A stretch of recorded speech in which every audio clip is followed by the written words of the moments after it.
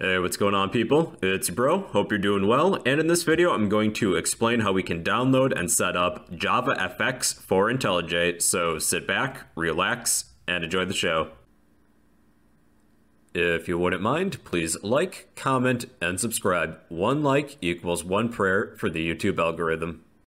Step 1 is to download the JavaFX SDK. You can just Google this. So go to this first link, Open jfx.io, scroll down to Getting Started, click this Visit button, go to JavaFX and IntelliJ, non-modular from IDE, and there should be a link here. Download the appropriate JavaFX SDK.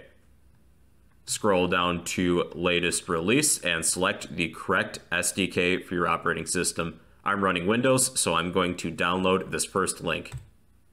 Once that's downloaded, you may need to extract this file. I'm going to right click on this file and extract all. And you'll probably want to extract this file to a location that you'll remember. Um, I'm just going to keep this my downloads folder because I'm really lazy. So we just need to extract this file and give it a second. All right, and then once that file is extracted, we can move on to step two. Step two is to create a new JavaFX project within IntelliJ. We can do so by going to File, New, Project, go to JavaFX project, select the appropriate SDK. Next, we should come up with a name for this project. Let's call this Hello FX and finish. And you can click this window. All right, so then if everything checks out, you should have a main.java file, and there's going to be some warnings here. This will be a sample that will create a basic window for you, but there's still a few more things that we need to do to get this up and running, which will bring us to step three. Step three is to add our SDK library. Go to File, Project Structure, Libraries, plus Java, and then find wherever you placed that SDK download that you extracted. So for me, that's in downloads, probably not the best spot, but I don't really care.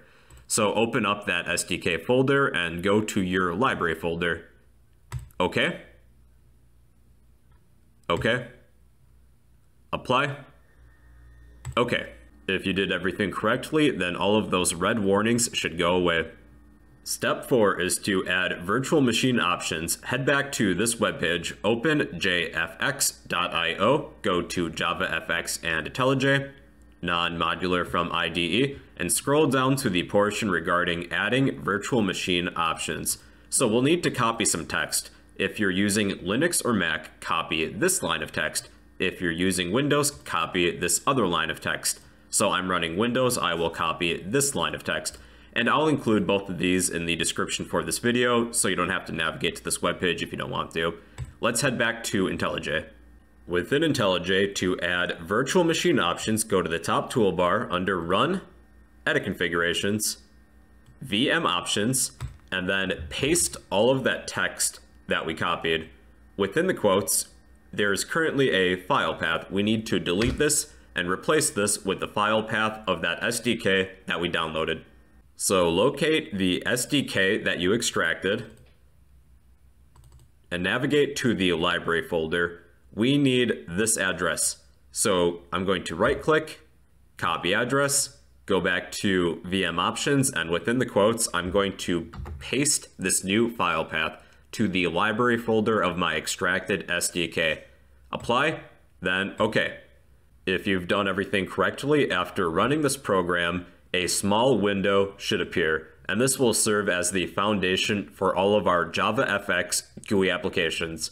Alright everybody, that's how to download and set up JavaFX for IntelliJ. If you would like a copy of all the steps and the relevant links, I will post those in the description down below. But yeah, that's how to set up JavaFX for IntelliJ.